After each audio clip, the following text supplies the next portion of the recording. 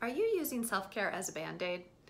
Hey, we all encounter a lot of stress in our day-to-day and there's no problem with the renewing benefits of a bubble bath or a massage or a hike or a great workout at the gym, right? All of these things can be wonderful moments that we take out of the constant doing, doing, doing to find greater balance with the doing and the being in our lives, to reboot our energy, to renew, to kind of um, savor a little bit of space where there's nothing filling it but peacefulness.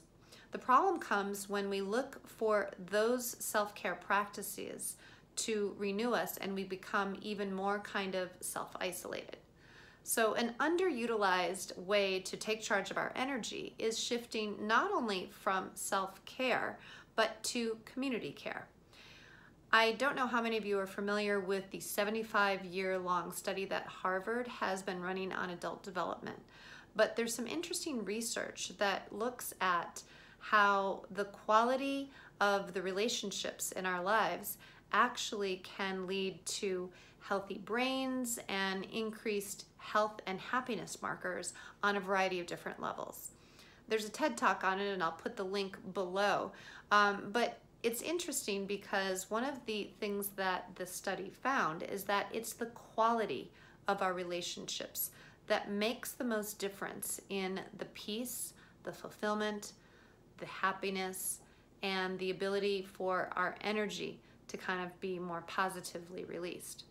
And so the question for you today is number one, think about the five people that you are in closest contact with on a day-to-day basis and write those names down and then write next to them the quality of your relationship with them.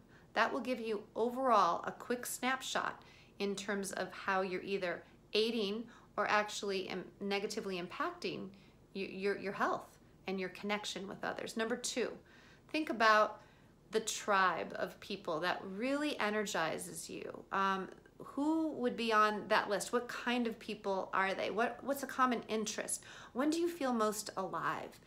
And where are these people? What kind of groups are they part of? Where do they travel? What are they doing? Where is your tribe? That's number two. And then number three, what's one thing that you can do today to not only connect with that tribe of people, but maybe cultivate some care for people in that community. With those three actions, the next time that you're feeling stress, you too can move from self-care to self-care and community care. Try it out. Let me know how it goes. I'd really love to learn. I think this time in this rapidly changing environment is a time for not us not only to reset our own energy, but to help our communities reset our energy. And I know when we bring more communal focus, we can help others do that faster and better together.